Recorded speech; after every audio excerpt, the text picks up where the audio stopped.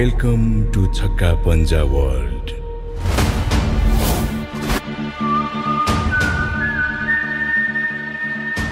घुस लिन्या र दिन्या दुवै देशका शत्रु हुन्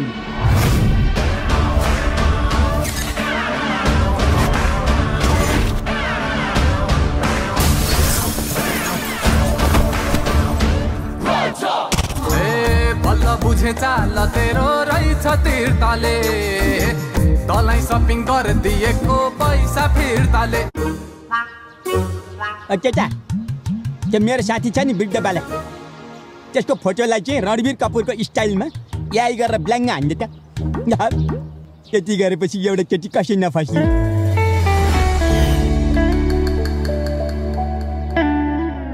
मम्मी त्यो फोटोमा भएको मान्छे होइन यो।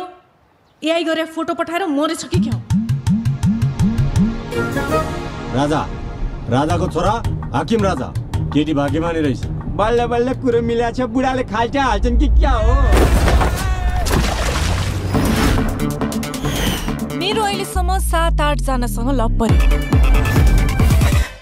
डिप लभ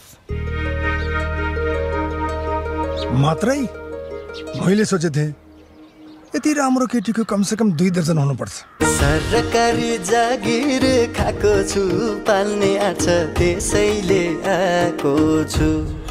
बजार भाउ बढेर साह्रो छ मलाई पाल्न धेरै नै गाह्रो छ। ए, राजाको नि घर हुन्छ। दरबार भन्नु न। ल दरबारे कहाँ छ त त्यो?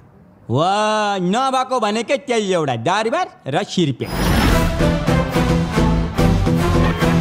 तलब बाहेक राज्यको दुई रुपियाँ पनि खाएको छैन अहिलेसम्म त्यसको फुर्ती हो। राजसम्म कुनै पनि मन्त्रीको कम्मर मुनि मालिस गरेका छैन त्यसको फुर्ती हो।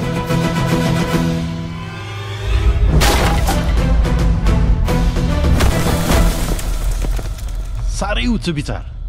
तँ जस्तो मान्छे देशलाई चाहिन्छ। तर कुन देशलाई चाहिन्छ त्यो चाहिँ मलाई थाहा छैन।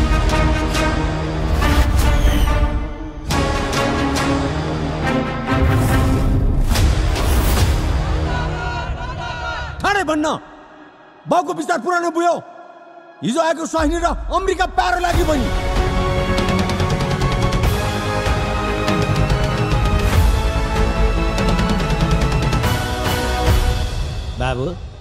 तँ चाहिँ एउटा सब्बान लिएर जा। सब्बान किन बा? तँलाई घाटमा पुर्याउनलाई बाटे मेरो काँक्रो जस्तो कलिलो छोरीलाई अनेक प्रपञ्च गरेर छिप्पिएको मुलासँग भिडाइस्। मेरो नाममै त ठुलो पीडा छ नि श्रीमान। मैले मेरो नाम बिलगेट्सै राखे पनि सबैले माग्ने बुढै भन्ने भए